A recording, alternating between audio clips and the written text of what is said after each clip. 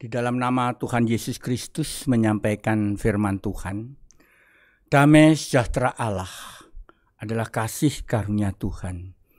Hari ini kita masih bersyukur di dalam lingkungan gereja kita, Yesus sejati. Kita masih dapat beribadah. Walaupun kita belum bisa tatap muka, tapi kita bersyukur kita masih bisa dekat dengan Tuhan. Dan sebenarnya keadaan sekarang ini bisa dikatakan krisis damai sejahtera. Ya. Sekarang ini manusia penuh kekhawatiran. Di mana-mana bahkan di seluruh dunia. Damai sejahtera Allah ini sepertinya tidak ada. Sepertinya ke mana? Orang mencari-cari seperti tidak ada damai sejahtera lagi dengan segala cara ditempuh untuk mendapatkannya. Banyak orang mencari-carinya dengan cara-cara seperti halnya beribadah dari segala agama. Mereka mencari damai sejahtera. Ya. Semua orang merindukan ketenangan dan kedamaian. Berbagai cara apa pun dilakukan. Ada yang menjalaninya dengan melakukan ritual tertentu, misalkan dengan meditasi atau yoga, dengan berpuasa atau berpantang makan ini makan itu. Ada juga yang mengonsumsi obat-obatan, obat penenang, obat narkotik. Ada yang dengan cara narkotika ini bisa mendapatkan ketenangan. Tapi apakah damai sejahtera itu ada di hati kita? Ya. Sekalipun sekarang ini di WA banyak komedian, banyak lelucon.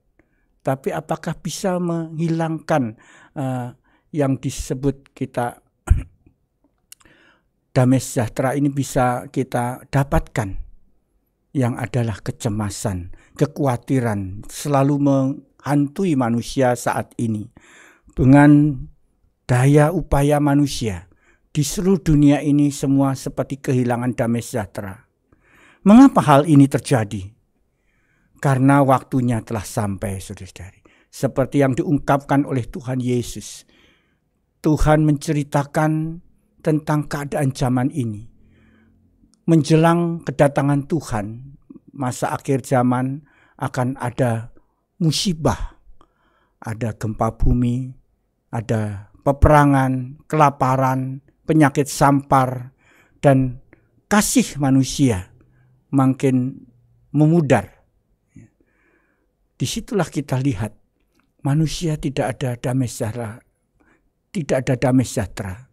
Dan kalau kita lihat juga di kitab Wahyu, Tuhan Yesuslah yang berfirman melalui disampaikan kepada Yohanes. Di situ Tuhan menyampaikan firman Tuhan. Berurutan seperti zaman ke zaman zaman ini kalau kita lihat di dalam Wahyu pasal 6. Kalau kita kita lihat di situ anak domba itu membuka metre. Yang kedua dan keempat manusia kehilangan damai sejahtera. Ya. Kalau kita lihat yang ayat 3 sampai 4 kita baca dahulu. Wahyu pasal 6 ayat 3 sampai 4. Dan ketika anak domba itu membuka metre yang kedua, aku mendengar makhluk yang kedua berkata, "Mari." Dan majulah seekor kuda lain seekor kuda merah padam, dan orang yang menungganginya dikaruniakan kuasa untuk mengambil damai sejahtera dari atas bumi, sehingga mereka saling membunuh, dan kepadanya dikaruniakan sebilah pedang yang besar. Di sini menceritakan tentang penunggang kuda ini mengambil damai sejahtera di atas bumi dengan membawa pedang yang besar. Nah, saudara-saudari, kalau kita perhatikan kitab Wahyu, memang tidak ada orang yang bisa memprediksi saatnya kapan dan tidak ada orang yang bisa menafsirkan nubuatan-nubuatan kitab Wahyu ini dengan pasti dan tepat. Penuh misteri, penuh rahasia. Tetapi paling tidak kita diberikan pengertian hikmat pada Tuhan untuk melihat ada masa-masa di sini seolah-olah seperti waktu ke waktu itu berbeda-beda. Tetapi apakah hari ini sudah mencapai ke metre yang kedua dan metre juga yang keempat. Kalau kita lihat situasi seperti sekarang ini, damai sejahtera di mana-mana bisa dikatakan tidak ada. Dan juga kalau kita baca selanjutnya di dalam Wahyu pasal 6 ayat 7 dan 8. Ini metre yang keempat. Dan ketika anak domba itu membuka metre yang keempat, aku mendengar suara makhluk yang keempat berkata, Mari, dan aku melihat sesungguhnya ada seekor kuda hijau kuning, dan orang yang menunggangi bernama maut, dan kerajaan maut mengikutinya. Dan kepada mereka diberikan kuasa atas seperempat dari bumi untuk membunuh dengan pedang, dan dengan kelaparan, dan sampar, dan dengan binatang-binatang buas yang di bumi. Mengerikan sekali saudara-saudari. Dari zaman ke zaman sepertinya apakah hari ini sudah menjelang kedatangan Tuhan Yesus? Apakah hari ini kita sudah mengalami masa kedekatan akhir zaman? Kalau kita perhatikan, damai sejahtera ini sudah hilang dan juga pembunuhan dengan pedang menggambarkan peperangan dan di sini ada kelaparan. Dari zaman dahulu sampai hari ini, bila mana terjadi peperangan, akhirnya ada kelaparan. Kalau sudah ada kelaparan, ada penyakit sampar, penyakit yang menular. Dan kalau kita rasakan penyakit menular sekarang ini, virus corona ini menyeluruh ke seluruh dunia. Kalau sudah seluruh dunia, bukankah itu suatu penggenapan nubuat ini? Bahwa Tuhan mewahyukan di dalam kitab wahyu ini bukan untuk di Indonesia, bukan untuk di negara mana, tapi di seluruh dunia. Tetapi kita hari ini, kalau kita perhatikan apakah kita yang sudah percaya Tuhan ini, kita tidak memiliki kesempatan Tentu saja ada. Tuhan menjanjikan kepada kita damai sejahtera ini bagi orang-orang yang percaya kepadanya.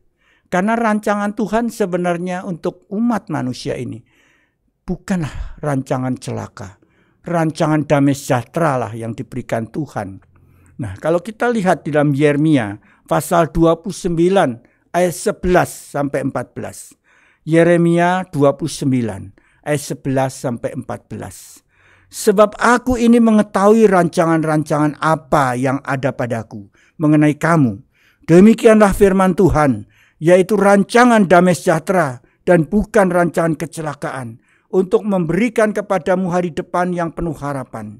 Dan apabila kamu berseru dan datang untuk berdoa kepadaku, maka aku akan mendengarkan kamu Apabila kamu mencari aku, kamu akan menemukan aku. Apabila kamu menanyakan aku dengan segenap hati, aku akan memberi kamu menemukan aku. Demikianlah firman Tuhan, dan aku akan memulihkan keadaanmu, keadaan kamu.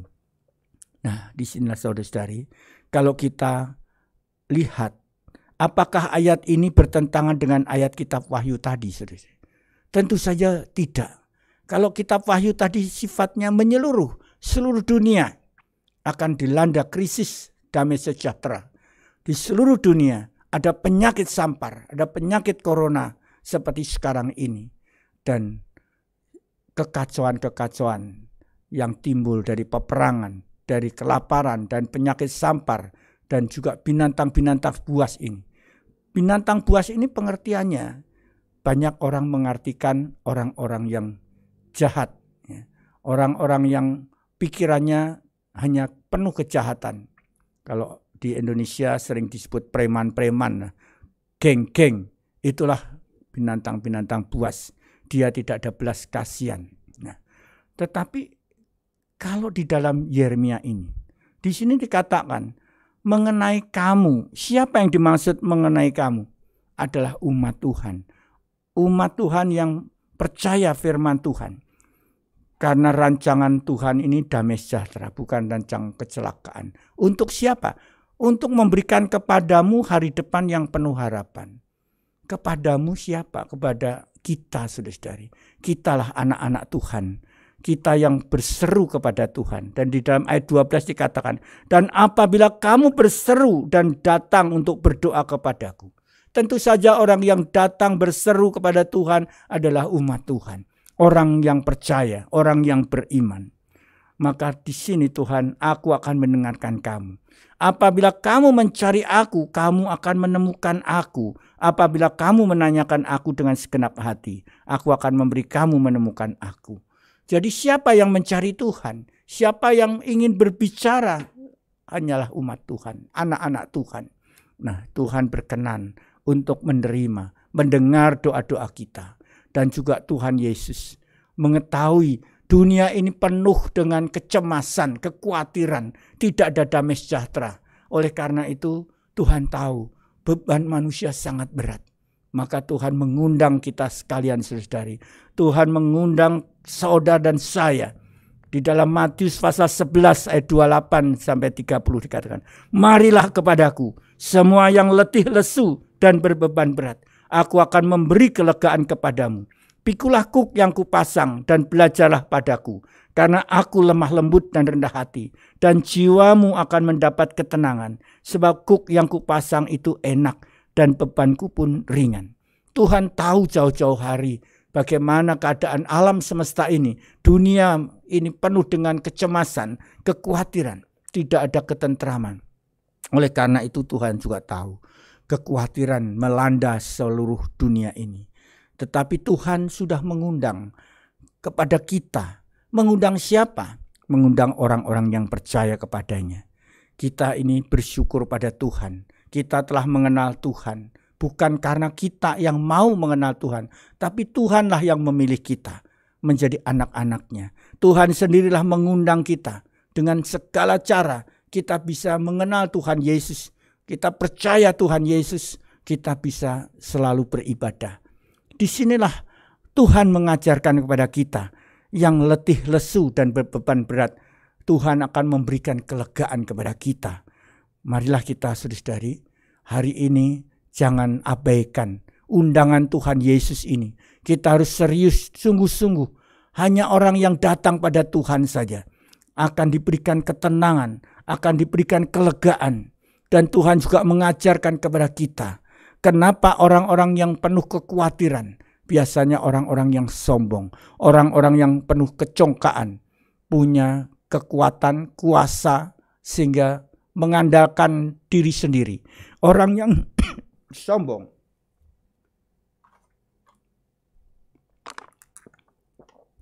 biasanya mengandalkan diri sendiri. Dia tidak ada mau merendahkan diri untuk sujud menyembah Allah. Merasa dirinya punya kekuatan, kuasa. Di situlah kesombongan. Tapi Tuhan menginginkan supaya belajar kepada Tuhan Yesus. Di sini Tuhan katakan, belajarlah padaku, karena aku lemah lembut dan rendah hati, dan jiwamu akan mendapat ketenangan. Jadi kalau kita mau belajar kepada Tuhan Yesus, kita mau lemah lembut dan rendah hati, jiwa kita ada ketenangan. Dunia ini semakin risau, semakin resah, semakin kehilangan damai sejahtera. Karena di dunia ini penuh dengan kesombongan, kecongkaan. Di situlah damai sejahtera ini menjauh dari manusia-manusia yang sombong. Tetapi kalau kita hari ini belajar pada Tuhan, bersikap lemah lembut rendah hati, jiwa kita akan damai, akan tentram. Karena ada pepatah mengatakan, satu musuh kebanyakan seribu sahabat masih kurang. Jadi kalau kita ini ada musuh satu saja, membuat kita tidak damai sejahtera. Tetapi dengan banyaknya sahabat, seribu sahabat pun masih kurang saudari. Oleh karena itu kita harus benar-benar mendekat kepada Tuhan. Damai sejahtera itu Tuhanlah yang mengaruniakan kepada kita. Jangan sampai kita kehilangan damai sejahtera. Di sini Tuhan mengingatkan kepada kita melalui Rasul Paulus yang menulis suratnya di dalam Filipi pasal 4 ayat 6 sampai 7. Filipi pasal 4 ayat 6 sampai 7. Janganlah hendaknya kamu khawatir tentang apa pun juga, tetapi nyatakanlah dalam segala hal keinginanmu kepada Allah dalam doa dan permohonan dengan ucapan syukur. Damai sejahtera Allah yang melampaui segala akal akan memelihara hati dan pikiranmu dalam Kristus Yesus. Perhatikan di sini yang terakhir, memelihara hati dan pikiranmu dalam Kristus Yesus. Di luar Yesus tidak ada damai sejahtera. Kekhawatiran bisa melanda setiap orang. Anak-anak Tuhan pun bisa khawatir, tetapi ada jalan keluarnya. Tuhan memberikan solusi yang begitu mudah sekali, yaitu menyatakan kekhawatiran kita itu apa. Ceritakanlah pada Tuhan Yesus. Nyatakan khawatirnya apa, keinginannya apa. Sampaikan kepada Tuhan. Tuhan akan mendengar keluhan-keluhan kita. Tuhan mendengar duka cita hati kita. Tuhan memperhatikan kita. Dan juga di dalam doa. Bukan hanya keluhan-keluhan. Bukan karena kekhawatiran saja yang harus kita sampaikan. Tetapi permohonan dengan ucapan syukur kalau kita memohon dengan mengucap syukur, apa yang kita patut syukuri? Hari ini kita masih bisa bernafas. Ini adalah kasih karunia Allah. Hari ini kita masih bisa makan. Ini kasih karunia Tuhan. Setiap hari kita bisa menikmati cuaca dingin, panas, hujan, angin. Itu semua adalah kasih karunia Tuhan. Kalau kita tahu bersyukur, dalam segala hal kita bersyukur kepada Tuhan, maka kekhawatiran itu akan sendirinya hilang. Karena kita memikirkan yang baik-baik, memikirkan yang patut disyukuri. Maka tadi yang sudah diungkapkan, keresahan kita, khawatir kita, apa kita sampaikan pada Tuhan. Tapi selain juga kesusahan-kesusahan kita, kekhawatiran kita, jangan lupa mengucap syukurlah kepada Tuhan. Karena dengan mengucap syukur, otomatis damai sejahtera itu akan memenuhi jiwa kita. Di sini katakan damai sejahtera Allah yang melampaui segala akal akan memelihara hati dan pikiranmu dalam Kristus Yesus. Nah, janganlah kita berpikir bahwa di dalam dunia ini keadaan seperti sekarang pandemi Covid ini seolah-olah sudah tidak ada jalan keluar. Tuhan tetap memberikan jalan keluar bagi anak-anaknya memang kita tidak pungkirin bahwa virus ini berbahaya. Virus ini bisa menyerang siapa saja. Virus ini tidak kelihatan mata, tapi tiba-tiba bisa nempel kepada siapa saja. Jangan berpikir, oh saya masih muda, saya kuat. Dulu diperkirakan hanya orang tua saja. Tetapi sekarang juga anak-anak, orang muda, orang tua bisa kena COVID ini. Oleh karena itulah hanya satu cara. Kita ini kalau sampai khawatir, khawatir itu akan memperlemah fisik kita. Kita harus percaya Tuhan mengasihi kita. Serahkanlah kekhawatiran kita pada Tuhan. Nyatakan kekhawatiran ini dengan mengucap syukur. Selama ini Tuhan selalu menghadir di kehidupan kita. Tuhan selalu memberikan kekuatan pada kita. Nah, di dalam ayat 8, Filipi pasal 4 ayat 8 dikatakan. Jadi akhirnya saudara-saudara, semua yang benar, semua yang mulia, semua yang adil, semua yang suci, semua yang manis, semua yang sedap didengar, semua yang disebut kebajikan dan patut dipuji, pikirkanlah semuanya itu. Jadi kita nggak usah mikirin yang negatif, yang jelek-jelek. Pikirkan yang baik-baik saja. Seperti yang difirmankan Tuhan ini yang adil, yang manis, yang suci, yang indah-indah saja kita pikirkan. Janganlah kita dirisaukan, membuat kita khawatir karena memikirkan yang jelek-jelek. Walaupun kita sadar, kita punya akal budi, ada virus yang mengancam di segala tempat. Tetapi Tuhanlah yang menentukan. Tuhanlah yang memberikan kekuatan fisik setiap manusia kita diberikan akal budi, kita diberikan kekuatan, diberikan kasih karunia Tuhan. Tidak semua orang kena juga. Jadi bukan karena kita kuat kebal, tapi Tuhanlah yang mengasihi kita. Kasih karunia Tuhan memberikan kita sehat. Nah, damai sejahtera di bumi ini, di antara manusia, itu ada. Bukannya menghilang. Walaupun dikatakan di dalam wahyu kuda merah itu mengambil damai sejahtera di bumi ini, tapi bukan berarti hilang bagi anak-anak Tuhan. Di dalam Lukas pasal 2 ayat 14 dikatakan, kemuliaan bagi Allah di tempat yang maha tinggi dan damai sejahtera di bumi di antara manusia yang berkenan kepadanya. Perhatikan di sini, kemuliaan bagi Allah yang di tempat tinggi dan damai sejahtera di bumi di antara manusia. Kepada siapa? Yang berkenan kepadanya. Jadi orang-orang yang dikenan Tuhan, damai sejahtera itu masih ada, bukannya menghilang. Damai sejahtera ini masih ada bagi anak-anak Tuhan yang sujud menyembah Tuhan. Anak-anak Tuhan yang rajin beribadah kepada Tuhan. Oleh karena itu di dalam Mazmur juga menyampaikan Mazmur 55 ayat 23 serahkanlah kekhawatiranmu kepada Tuhan maka ia akan memelihara engkau tidak untuk selama-lamanya dibiarkannya orang benar itu goyah. Kita harus aminkan, harus yakin firman Tuhan ini akan punya kuasa kalau kita yakinin. Percaya saja tidak cukup, percaya harus yakin. Selalu kita renungkan di dalam doa kita bawa dengan ucapan syukur bahwa kekhawatiran kita serahkan saja kepada Tuhan. Tuhan memelihara kita. Tuhan tidak membiarkan kita goyah.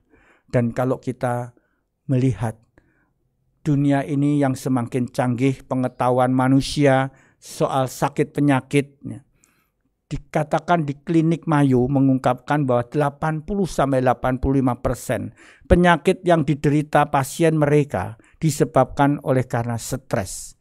Nah, kalau menurut pengetahuan manusia, pengetahuan kesehatan ini, di mana ada stres, ada kekhawatiran, tidak damai sejahtera, itu fisik manusia itu melemah.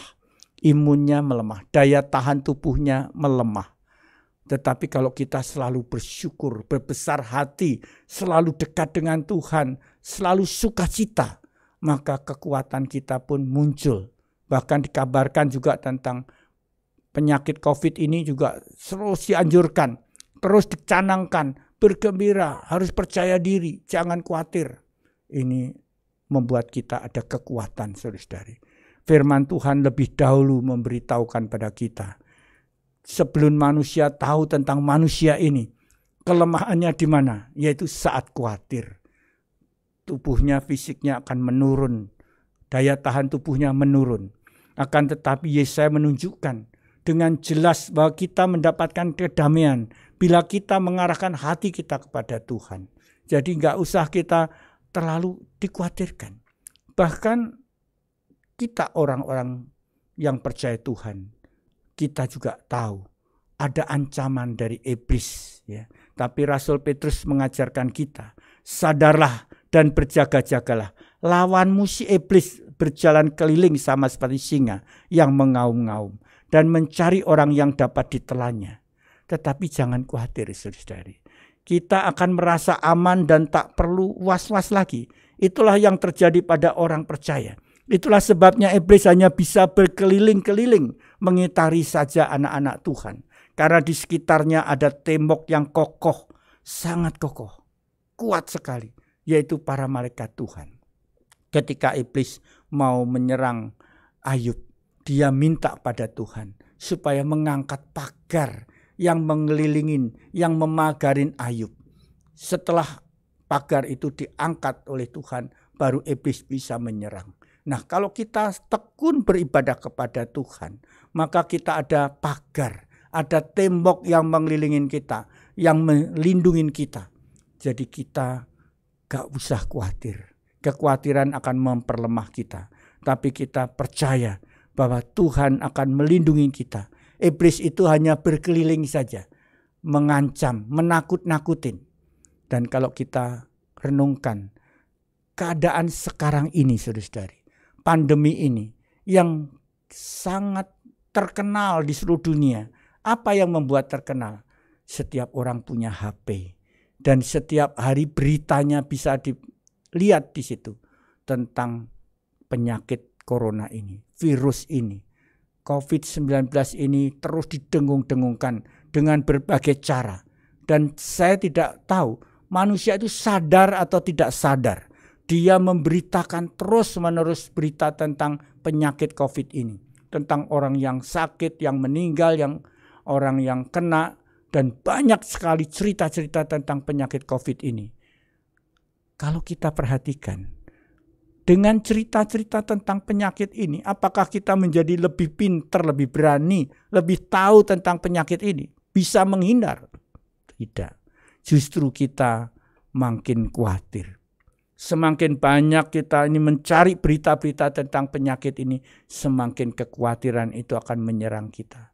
Bahkan bisa menjadi paranoid. Ya. Oleh karena itu, kita anak-anak Tuhan, ada pelindungan dari Tuhan Kenapa kita tidak mem meminta perlindungan Tuhan? Tuhan sudah mengatakan, "Datanglah kepadaku." Tuhan akan mendengarkan, Tuhan akan membentengi kita. Dan malaikat Tuhan berkemah di dalam Mazmur pasal 34 ayat 8 sampai 9. Dikatakan di sini, malaikat Tuhan berkemah di sekeliling orang-orang yang takut akan Dia, lalu meluputkan mereka. Kecaplah dan lihatlah Betapa baiknya Tuhan itu. Berbahagialah orang yang berlindung kepadanya. Mazmur 34 ayat 8 dan 9. Benar-benar membuat kita ada kekuatan, ada damai sejahtera. Tetapi bukan berarti kita cukup dengan wah saya aman, aman begitu saja. Hanya dengan iman, tapi ada syaratnya saudara-saudari. Jangan dilupakan malaikat Tuhan berkemah di sekeliling orang-orang yang takut akan Tuhan. Jadi kalau kita tidak ada perasaan takut kepada Tuhan, tidak ada rasa takut hormat pada Tuhan, ya jangan berpikir, oh saya kebal penyakit, saya tidak takut. Ya, bukan takut pada penyakitnya. Takutlah kepada Allah, takutlah kepada Tuhan maka penyakit ini akan menyingkir, kita akan dibentengi. Malaikat Tuhan akan berkemah sekitar kita, sekeliling kita. Jadi bukan takut sama penyakitnya, tapi takut akan Tuhan. Penyakit itu tidak akan menyerang kita. Kekhawatiran itu akan menyingkir daripada hidup kita. Yang ada adalah damai sejahtera dari Tuhan Yesus Kristus. Karena damai sejahtera ini adalah kasih anugerah Tuhan. Bagaimana firman Tuhan ini berkuasa saudara-saudari. Karena kita umat yang mengenal namanya. Walaupun kita mengaku umat Tuhan, kita percaya sebagai orang beriman. Kalau kita tidak mengenal namanya. Seperti di Hosea. Kitab Hosea juga mengatakan pasal 4 ayat 6. Umatku binasa karena tidak mengenal Allah. Jadi kalau kita hari ini cuma ngaku beriman, Tuhan, Tuhan, aku mengusir setan dalam namamu, bernubuat dalam namamu. Tapi Tuhan akan menolaknya lah. Karena kita tidak memegang firman Tuhan. Kita tidak menjalankan perintah-perintahnya. Kenapa? Karena tidak mengenal Tuhan kita siapa. Kalau kita sebagai orang Kristen masih bingung Tuhan itu yang mana? Bagaimana kita bisa mendapatkan pelindungan Tuhan. Kita harus mengenal yang benar-benar Allah yang siapa yang disembah kita. Yang namanya kita menyembah itu harus tahu yang disembah siapa. Kita yakin benar-benar yang disembah ini adalah penguasa alam semesta yang berfirman kepada kita hari ini melalui firman Alkitab ini, kitab suci ini. Di dalam kitab Wahyu Tuhan Yesus sudah mengatakan semua itulah yang kita takuti. Tuhan Yesus Kristus, Allah yang Esa. Di dalam Mazmur 91 ayat 9 sampai 11 juga dikatakan. Sebab Tuhan ialah tempat perlindunganmu, yang maha tinggi telah kau buat tempat perteduhanmu, malah petaka tidak akan menimpa kamu, dan tulah tidak akan mendekat kepada kemahmu, sebab malaikat-malaikatnya akan memerintahkannya kepadamu untuk menjaga engkau di segala jalanmu. Nah, jadi di sinilah pelindungan Tuhan, penghiburan Tuhan, kekuatan Tuhan yang didengung-dengungkan melalui kitab suci. Ini tidak ada kekuatan apa-apa. Jikalau kita sendiri tidak mengenal siapa Tuhan yang kita sembah. Oleh karena itu di Mazmur 91 ayat 14 sampai 16 dengan jelas karena mengenal namaku. Ini kita harus garis bawahi. Kita baca bahwa perlindungan daripada Tuhan bagi orang yang mengenal namanya. Saya akan bacakan di dalam Mazmur 91 ayat 14 sampai 16. Sungguh hatinya melekat kepadaku, maka aku akan meluputkannya. Aku akan membentenginya sebab ia mengenal namaku. Bila ia berseru kepadaku, aku akan menjawab. Aku akan menyertai dia dalam kesesakan. Aku akan meluputkannya dan memuliakannya. Dengan panjang umur akan kukenyangkan dia dan akan kuperlihatkan kepadanya keselamatan daripadaku. Nah di sinilah saudari, Tuhan membentengin kita. Jadi jangan kita kehilangan damai sejahtera. Damai sejahtera itu memang hak kita, milik kita. Karena Tuhan sudah mengaruniakan damai sejahtera itu kepada anak-anaknya yang percaya. Jadi jangan khawatir lagi, jangan gelisah lagi. Tetapi juga kita perlu yang kita sembah, yang kita imani itu siapa? Kita harus mengenal namanya. Namanya di sini katakan Yesus Kristus. Kita harus tahu bahwa Allah yang kita sembah yang menciptakan alam semesta, yang memegang nafas hidup kita ini, yang menentukan mati hidup kita adalah Tuhan yang kita sembah, Tuhan Yesus Kristus. Bangsa apa pun yang percaya Tuhan akan dilindungi. Jadi tidak pandang itu bangsa apa. Bukan harus kita seperti orang Ibrani atau Yahudi Oh harus bisa bahasa Ibrani misalkan. Tidak usah. Tapi segala bangsa. Firman Tuhan itu untuk semua manusia. Dan dengan berbagai terjemahan sekarang kita sudah bisa mendapatkan kitab suci. Allah itu ingin semua umat mengenalnya. Semua umat manusia itu mengenal Tuhan, bisa mendengar, bisa membaca firman-Nya. Maka di seluruh dunia diterjemahkan. Kitab suci yang sudah diterjemahkan ke berbagai bahasa di seluruh dunia. Bahkan di Indonesia aja terdiri dari suku-suku. Ada suku Jawa, suku Sunda, suku Batak, suku Dayak. Saya sudah lihat juga ada juga Alkitabnya. Nah, jadi Alkitab ini sudah diterjemahkan ke berbagai bangsa. Oleh karena itu Tuhan memberikan kemudahan-kemudahan manusia untuk mengenal namanya melalui kitab suci. Nah, maka di dalam Yesaya 24 ayat 1 sampai 4 ya. Yesaya 26 ayat 1 sampai 4. Pada waktu itu nyanyian ini akan dinyanyikan di tanah Yehuda. Pada kita ada kota yang kuat untuk keselamatan kita. Tuhan telah memasang tembok dan benteng.